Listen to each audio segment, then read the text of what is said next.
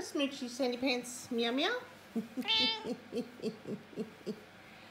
Hello, darling. This is her little trolley that she sleeps in at night time. I think she's probably on my lap for a couple of hours. I don't know. I fell asleep on the fell asleep on the chair, really comfy chair with you can put your legs up. years. And I just woke up because Mon rang, rang me for wish me a happy Mother's Day. I'd like to wish you a happy Mother's Day, Paula.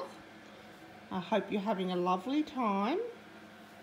And I'm being a mother to your babies, well, to one of your babies. I haven't seen Bella yet, but uh, I'm giving your gorgeous Sandy Pants lots of love. She's a beautiful, beautiful girl, aren't she? Yeah, meow meow. You are the smoochiest pussycat I have ever come across.